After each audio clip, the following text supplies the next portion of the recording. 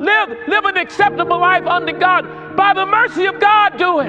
Not by your duty and even not by your responsibility, but by His mercy, I present my body to God. And you can tell that good looking woman, you look good, but you're not good enough for my salvation because I know somebody who loves me more than you ever will be able to love me, and I choose him. Now you're in a want to place.